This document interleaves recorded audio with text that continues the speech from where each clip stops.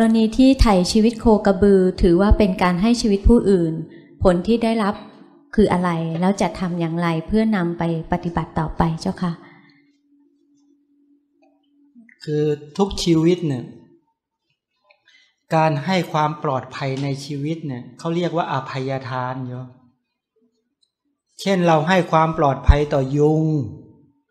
ให้ความปลอดภัยต่อเหลือบ ยุงลินละล้มลมไลเลือดทั้งหลาย สิ่งที่มีชีวิตทั้งหลายที่เราให้ความปลอดภัยทั้งสิ้นจัดเป็นอภัยทาน และแม้แต่มนุษย์ทั้งหลายที่เราไปป้องกันภัยให้กับเขาทั้งหมด ทีนี้กิจกรรมการปล่อยเต่าปล่อยปลาปล่อยนกปล่อยหนูเนี่ย หรือว่าปล่อยโคปล่อยกระบือทั้งหลายเป็นกิจกรรมไงโยม แต่คนที่ให้แล้วก็ไม่ได้ละบาปอกุศลอะไรกันเลย มันกลายเป็นกิจกรรมไปหมดแล้วเนี่ย เอามันให้กันจริง ๆ เลยได้ไหม เป็นการให้ทุกวันปล่อยทุกวันได้ไหมปล่อยทุกวันก็คือการเจริญกุศลศีลให้ความปลอดภัย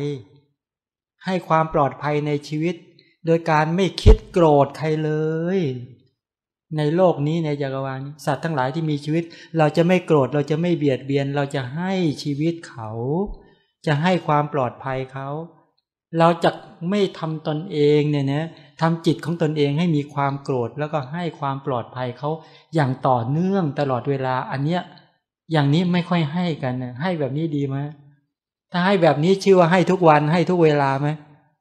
เนี่ยที่เรานั่งกันทั้งหมดเหล่านี้เราได้ให้หรือยังวันเนี้ย ได้ให้ศีลข้อนี้เกิดขึ้นหรือยังมานั่งตั้งนานทำไมไม่ให้เราให้ทุกคนเลย นี่คือหลักปฏิบัติใช่ไหมขอให้ผู้ที่มาปฏิบัติเนี่ย เอายกใครขึ้นเป็นประธานได้ไหมเนี่ยมีพระท่านมาใช่ไหมเอาแล้วเราจะให้ความปลอดภัยกับชีวิตพระคุณเจ้า ที่มานั่งฟังธรรมขอให้ท่านมีชีวิตยืนยาว ขอให้ท่านปลอดภัย ให้กุศลกรรมของท่านรักษากระแสชีวิตของท่านให้ยืนยาว อยู่ในร่มผ้ากาสาวพัดของพระสัมมาสัมพุทธเจ้า ประพฤติปฏิบัติในศีลสมาธิปัญญาจนเป็นปัจจัยแก่ความหลุดพ้นจากสังสารวัฏโดยเร็วโดยง่ายโดยสะดวกโดยพันนะ และทุกคนทั้งหลายที่อยู่ณที่นี้ที่มาฟังธรรมก็ขอให้ความมีความปลอดภัยในชีวิต อย่างนั้นเช่นเดียวกันอย่างเงี้ยอย่างนี้ชื่อว่าให้ไหมให้หมดเลยเห็นไหมเนี่ย และไม่ใช่แค่นี้ ใครแวบเข้ามาในความรู้สึกเราก็จะให้จะให้ความปลอดภัยทั้งหมดอย่างเงี้ยไม่ใช่จะโกรธมัน จะโกรธมัน มันเป็นคนไม่ดี อย่างนี้ต้องจัดการต้องจัดการเนี่ยเราไปจัดการทำไมไปทำตัวเป็นผู้พิพากษา หรือเราจะทำตัวเป็นเป็นเพชฌฆาตเห็นไหม แล้วข้อสองให้ได้ไหมให้ความปลอดภัยในทรัพย์สินได้ไหมอ้าวนึกถึงพระนี่พระท่านมีทรัพย์สินของท่านไหมมีไม่มี มีจีวรก็มี ใช่ไหมในย่ามก็มีไหมแม้อาจจะมียาจะไม่มีของใช้ ท่านก็มีทรัพย์สมบัติ เราก็จะให้ความปลอดภัยในทรัพย์สิน จะไม่คิดเอาทรัพย์สินของท่านมาเป็นของของเรา และจะไม่มีวิธีการใดๆขอให้ท่านนะมีทรัพย์สินที่เกี่ยวกับการที่จะดูแลในสมณะเพศของท่านให้ยืนยาวให้ปลอดภัยนะ แม้กับทุกคนเราก็ให้ความปลอดภัยในทรัพย์สินหมด การให้ในลักษณะอย่างนี้ ในข้อสองที่มานั่งกันเนี้ย เราได้ให้ทุกคนได้ยัง ให้หมดยังจริง ๆ ใจเราได้น้อมให้จริงๆไหมให้หรือไม่ให้ ได้เจริญไม่ศีลข้อสอง ให้ทุกคนไหม ให้ทุกคนมีความสุข มีความปลอดภัยในทรัพย์สินทั้งหมดไหม ให้หรือไม่ให้หรือไม่ได้คิดใช่ไหมเราศีลข้อสองก็ไม่เกิด ศีลมันเกิดขึ้นด้วยการน้อมจิตได้อย่างนี้จริงๆนะไม่ใช่เกิดแค่ไปนั่งสมาทาน ศีลมันเกิดแบบนี้โยมเราไปคิดว่ารับศีลแล้วมีศีลใช่ไหม ที่จริงมันไม่มีนะเนี่ยมันได้แค่รับแค่นั้นเอง แต่ศีลมันไม่เกิดจริงอะศีลเกิดจริงมันจะต้องมีทรัพย์สินของบุคคลอื่นเป็นอารมณ์ แล้วก็น้อมที่จะให้ความปลอดภัยในในทรัพย์สินของเขา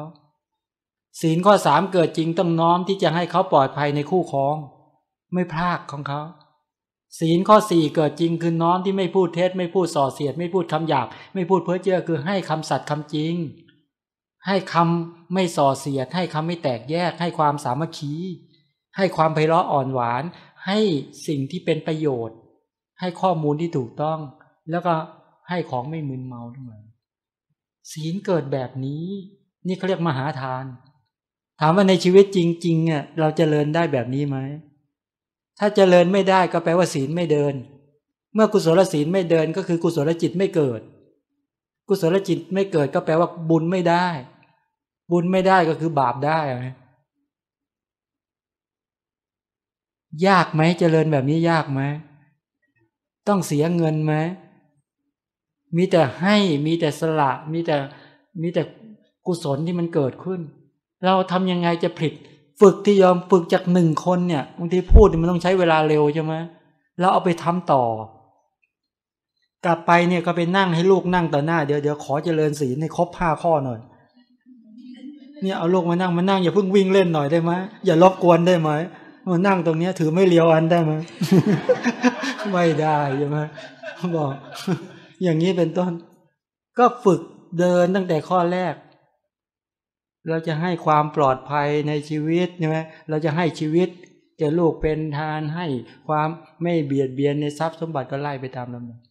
เห็นไหมก็ฝึกให้ได้จริง ๆ